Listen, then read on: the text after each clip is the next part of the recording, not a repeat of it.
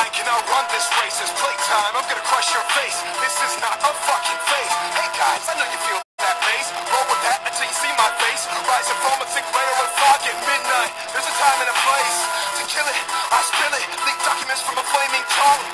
Rappers acting so saintly, but not long ago you were baking, cuz. And now they catch the aroma. Wonder what the kid is baking up. Little secret ingredient they're needing is something for waking up.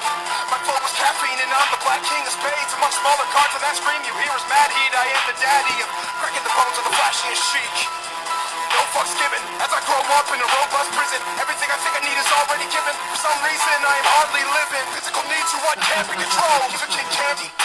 Oh, I love this new song from a friend of mine. How's everybody else doing? I don't think we need this now.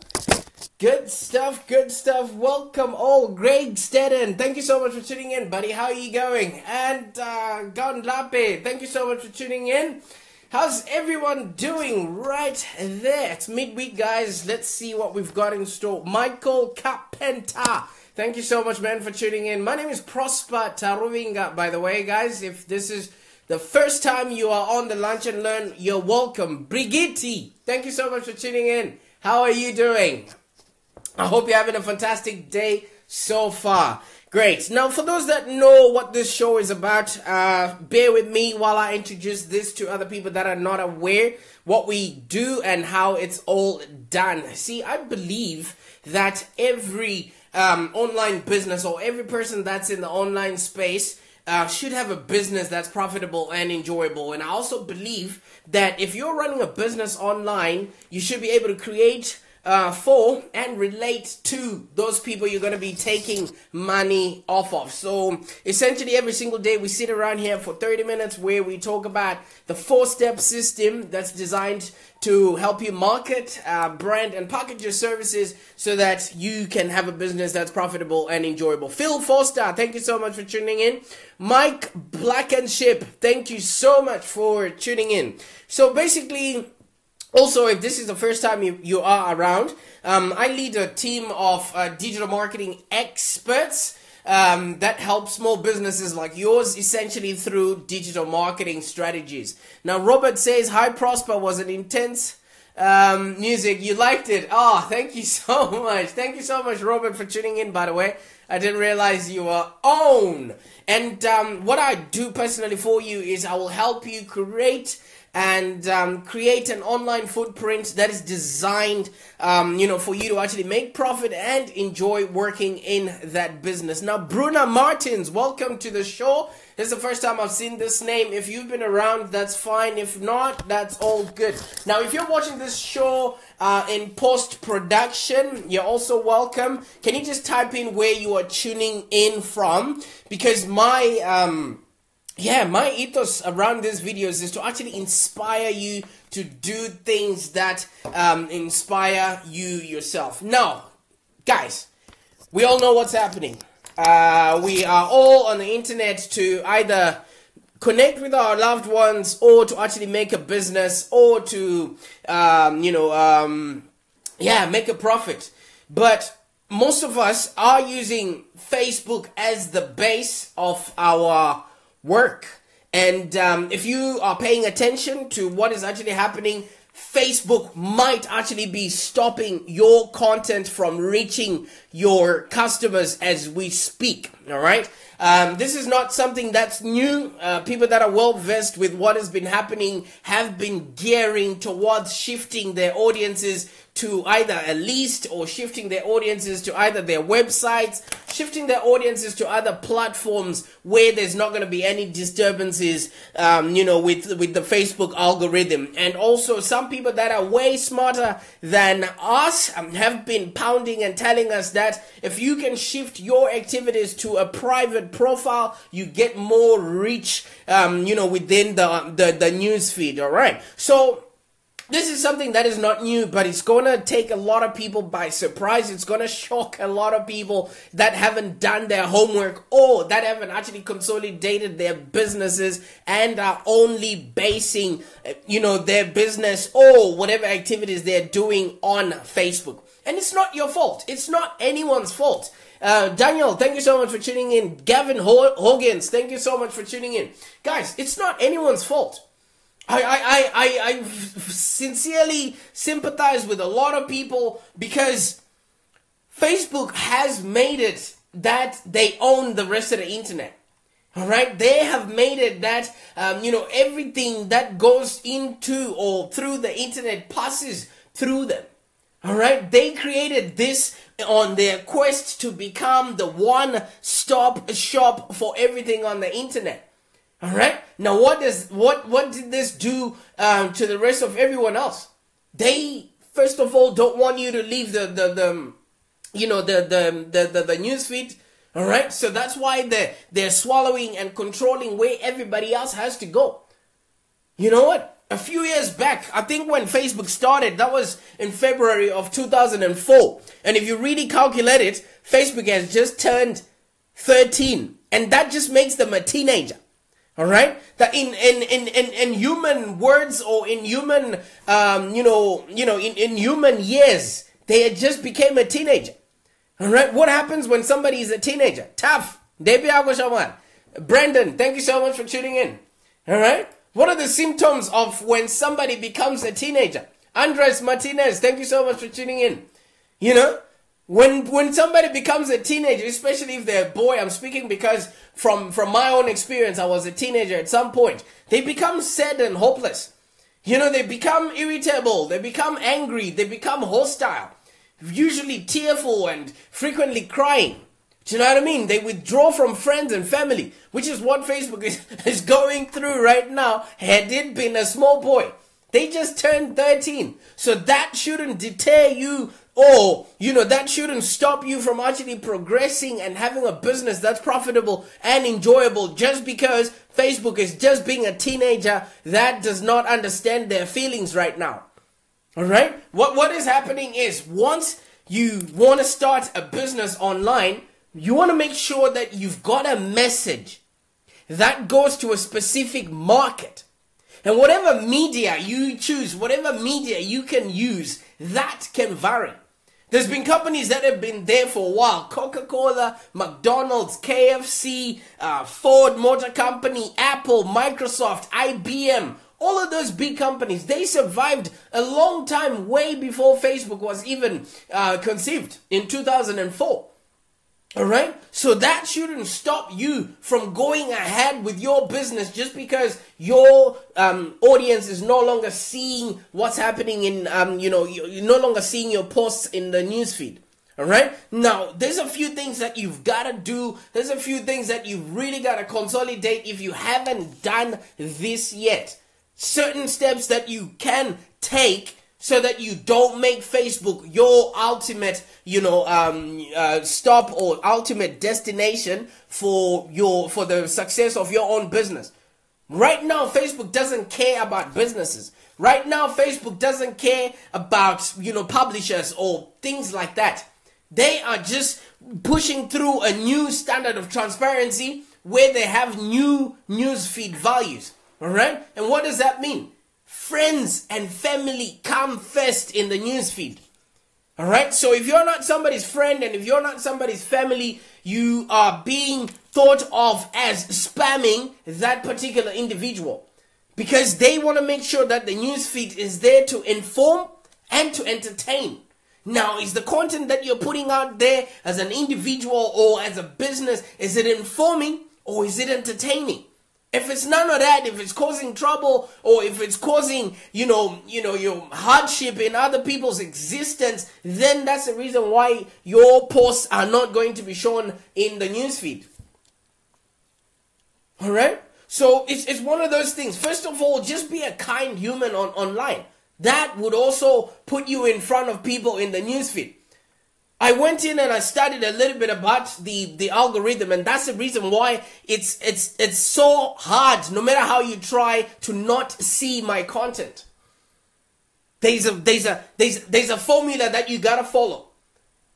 It's interest, right? The, the interest part of, of the formula is who, who is the person who has created that, that post?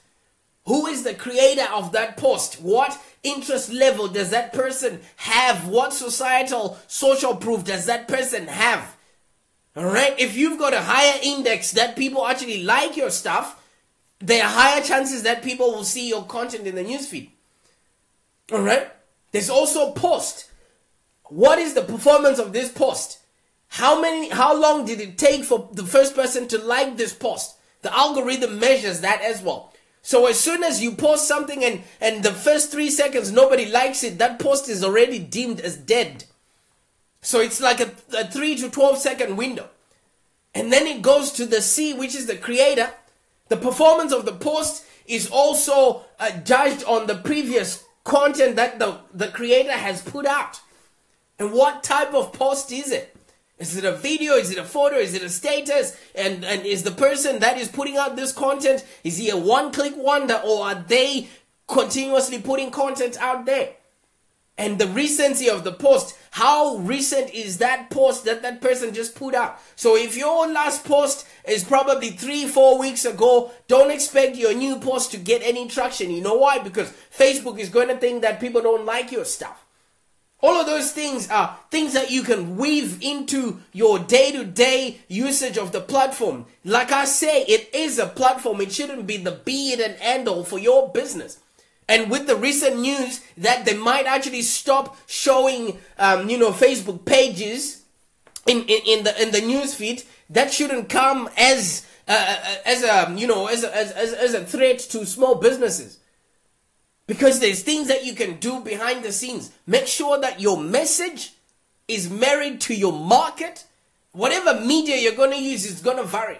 And I gave an example of companies like Coca-Cola or Ford or companies like Microsoft, IBM, they existed a long time ago before February 2004 when Facebook, um, you know, was made public or when Facebook started uh, being uh, functional. So if you're calculating backwards, it just tells you that Facebook is just a teenager who's only just trying to figure out their own emotions. So you shouldn't let your business be directed by, um, you know, somebody who's just trying to figure out their own emotions. All right? As a business person, you should be prepared for what's about to come. All right? There's a few things that you can do simply just so that you make sure that you are relevant in the next year to come. First of all, figure figure out figure out, you know, what your um what need you are you are feeling. Second of all, figure out what um who needs those services that you're putting out. And once you've got all of that in place, you want to make sure that people understand your message. You already have a market that people, um, you know, that you, you you're ready to sell to. And once you start putting content out there and making sure that people are aligned to your visions, to your goals and aspirations, all of what I'm talking about will, you know, you know, will all come together. So how do you do this? All right. First of all, most of us don't even have a website a lot of business people had thought that you know starting a business only means having um, a, a, a, Facebook page. You know, how many of how many people are operating right now? You know, just from a Facebook page. Because if you are, then obviously you haven't been making money for the last six months. All right. Because at the end of the day, if you haven't created an audience all right. If you haven't built that audience and you haven't been passing, um, you know, content to them, then that means those people have never heard about you. So once you have a website and some sort of a landing page that collects all the information that says who you are, what you stand for, and what your values are, that should be used as a way to engage people. That should be used as a way to educate the patrons that come through to your website. That should be used as a way to inspire people to purchase your products. And it should be a way to position yourself as the go-to person within your industry. All right. So I, I don't know if um, if anyone has been affected so far by by the Facebook um, you know algorithm change. Have you been affected by the way Facebook has changed their algorithm? has that affected you um, in in any way? Because most people that have been affected is people um, th- that um, what does Scott say? Scott says people should see the real person behind the business. Exactly. That is absolute because people buy from people.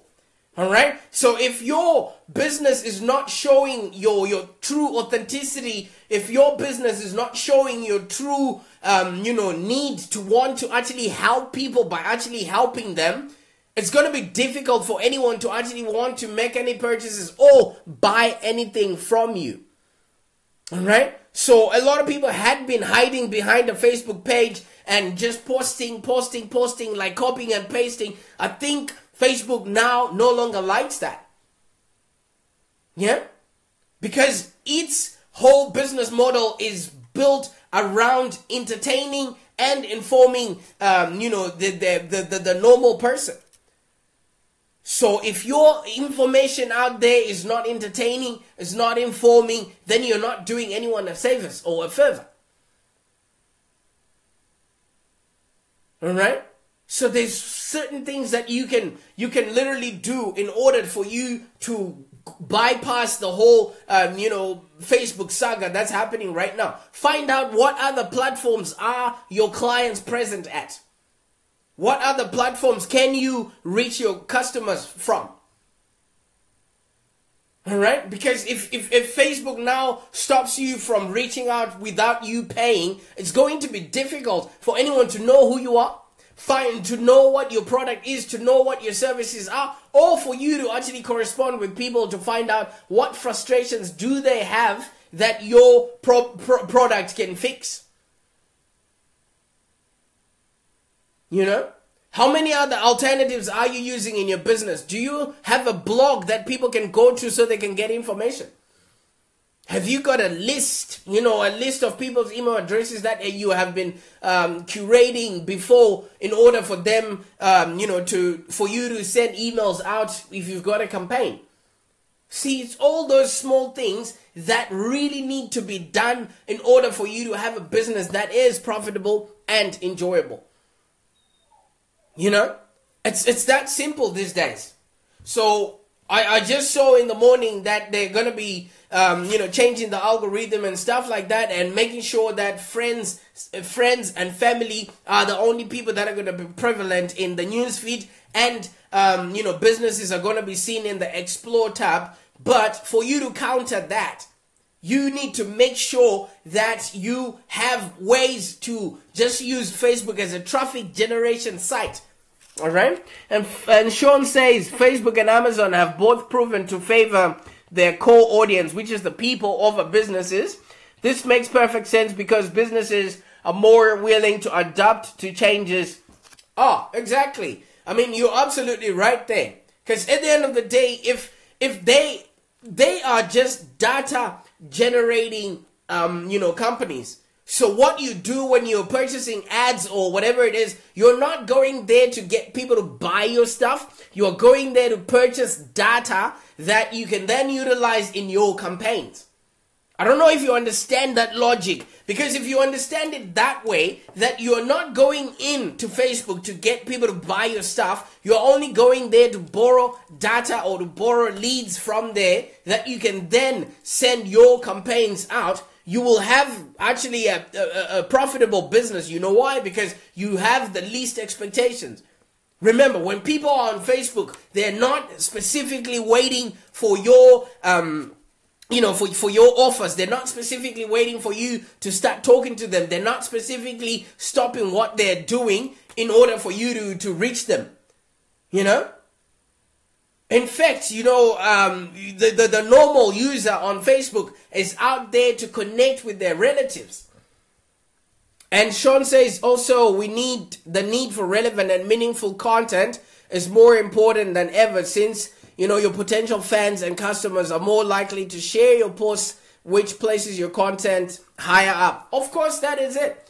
If you're relevant, like I said earlier on, if your content is informing and if your content is educational, because that's the reason why people come to the internet. People are coming to the internet to get information. Now, if your information is um, I mean, if you're the person that's providing that content, you know, like what Sean is saying, you they get to know, like, and trust you. And the more they get to know, like, and trust you, it's easier for you to then cultivate or take them off of the platform and bring them across, um, you know, to whatever channel you might have. And in this case, the best bet is creating assets like a list.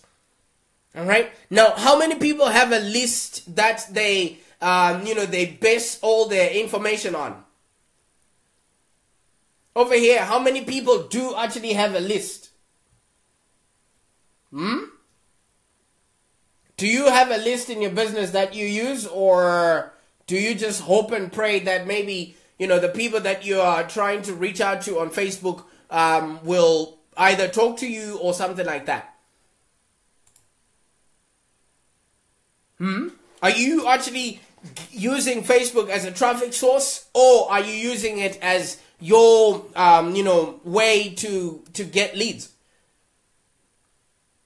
So if if there's something that you can actually um, you know if there's something that you can start doing really is start giving people value and exchange that for an email address. All right. Once you do that, when people come across to to you, you then um, you know start sending them offers, and then they get to know you. You you you're sort of um, um, um, nurturing that list. All right. Because if you're not using social media as a lead generating facility, if you're not using social media as a way to garner or get leads, then I think you're missing out on a, on a lot of potential that Facebook is actually meant for. Okay? Because now if they, you know, take the rug off of our feet, it's going to be difficult. Some businesses are going to go bust this happened before. It's not the first time that, you know, a piece of media just, you know, becomes maybe obsolete or becomes or, or just puts up the, the, the, the bar to entry. You know? The only reason people were allowed to, um, you know, make uh, Facebook pages was because when when a few years back, you know what I mean? Um, you know, the news feed was filled with links and people were just being told to leave, um, you know, the Facebook news feed. And Facebook didn't want that. Do you know what I mean? And then they also decided that people were not getting a good user experience as soon as they got to other people's pages. You know?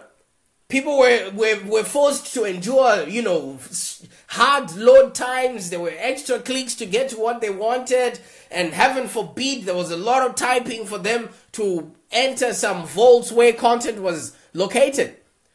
And each of each link that was being put on Facebook was actually an opportunity for them to to to to lose a person that would have been enjoying um you know the the the the the, the walls or whatever it is they were putting out there. So it was all thwarting the mission and, and as well as Facebook Facebook's business model. So they already just started eliminating the reason um, for anyone to ever want to leave, um, you know, the, the, the algorithm there, or to leave them, you know, to leave the the whole uh, setup.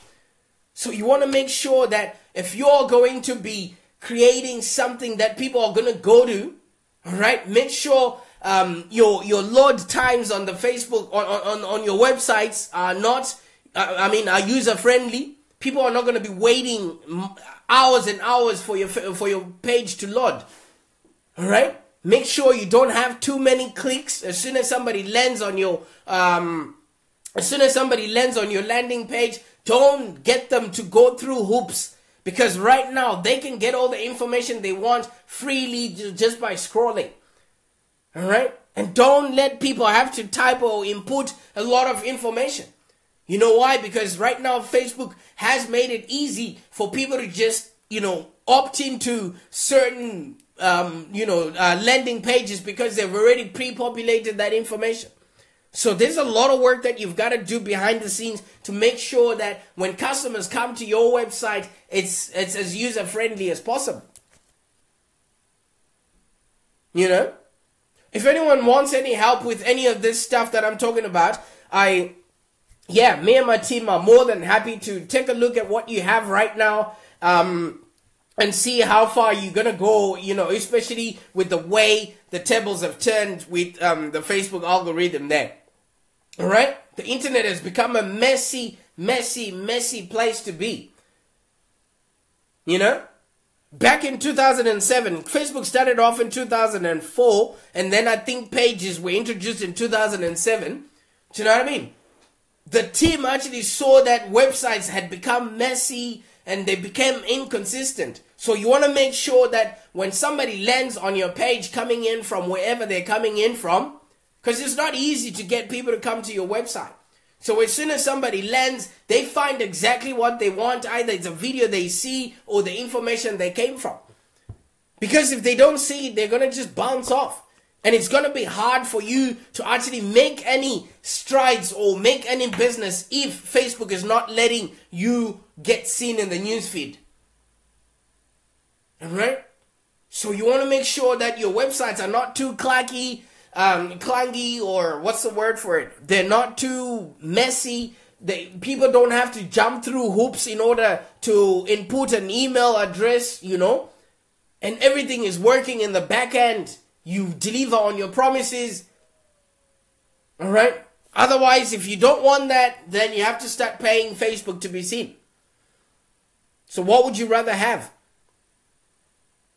I mean, a lot of people might ignore this show today. You know why? Because they don't want to hear the hard truths, but it's coming. That's exactly what's happening. So you want to tie up all the loose ends on your on your website. You want to make sure the copy on your website is converting. You want to make sure that when you say you're going to deliver, um, you know, a, a, a, lead magnet or whatever it is, it actually does go to to the person's email um, email um, inbox You know? And those people that had crafted themselves in jobs as social media managers, maybe it's time to diversify your skills. You know, because maybe this job might not be existing in the next years. But maybe it's all just speculation. You never know with these things. But once once tests are being done, it means it's something that has been set down. They have thought about it and they've discussed it and they've actually thought it's something they should do. You know why? Every single day, Facebook is bombarded with with you know suggestions from people on how to do things, and seldom do they implement.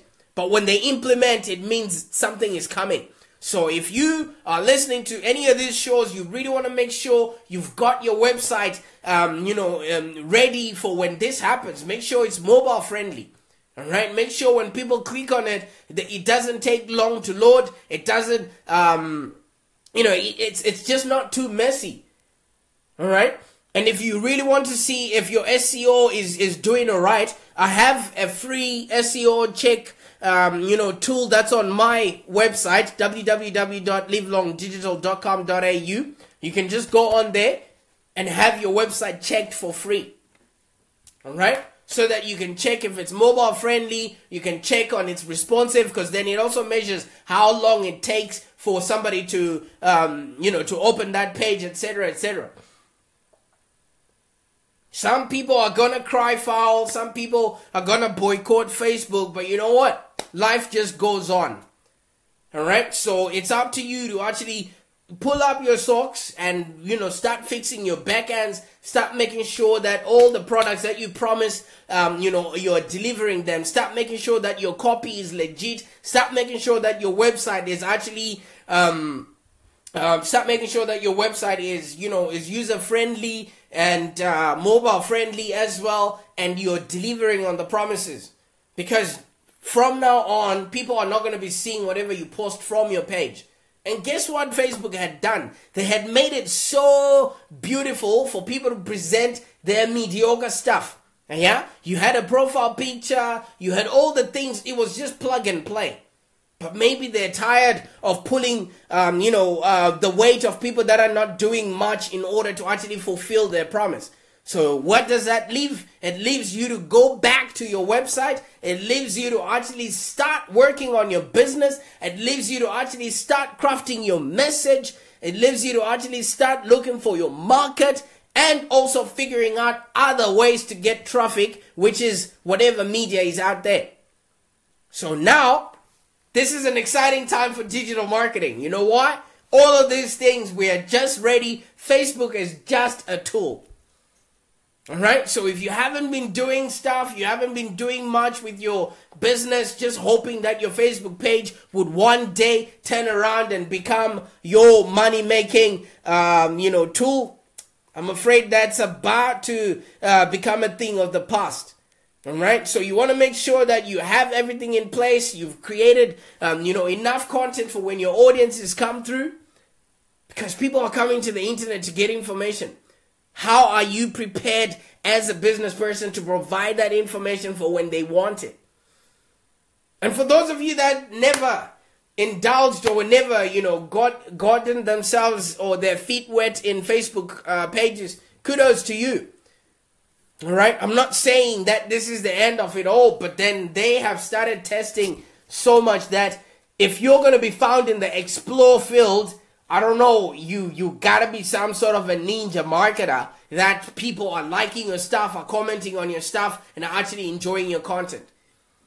So for other small businesses, if the Facebook page was the only hub that you use to communicate with your customers, I think you need to find and explore other channels. Find out where your customers are. Maybe LinkedIn, or maybe transfer and start being present with your, um, you know, with your own profile because now things are about to change. Things are about to look east or a bit sour. All right, I'm more than happy to um, help you out through this time of when you know everybody else is confused. Okay, I don't want to be the devil's advocate. You can look this stuff up. It's definitely going to, um, um, you know, it's definitely going to help you uh, get ready for 2018. You know why? I'm passionate about things like this because I want you to have a business that's profitable and enjoyable. I want you to enjoy working in your business and actually make that profit. And if Facebook decides they don't want to carry you through, we're always going to be looking for newer and um, exciting uh, things that we can use in order for us to be, do, and have businesses that we actually enjoy. Robert, thank you so much for that uh, comment. I really, really um, want to be of value and I really want to be that one person people can rely on to give. Um, you know the content that is uh, suitable and if you want me to have a look at either your website your landing pages or whatever collateral assets that you have that you're going to be using to make money um, off in 2018 just type in um, coffee so we can have a virtual coffee date what that means is we sit down, I just have a look at your stuff, I look at your market, I look at your message, I look at the media channels that you can utilize, and also other ways that we are, um, you know, cutting through the noise either on, on social media or just in the internet in general. Okay. At the end of the day, thank you so much. Uh, for everybody else who's been watching and everybody else who's been supporting us, maybe you won't get to see a lot of, um, you know, my stuff, but if you, um, um, if you uh, click see first, um, you know, on the friends list there, I'm always here to help out those people that are struggling with their business. I want you to have a business that's profitable and enjoyable. In the meantime, enjoy the rest of your day.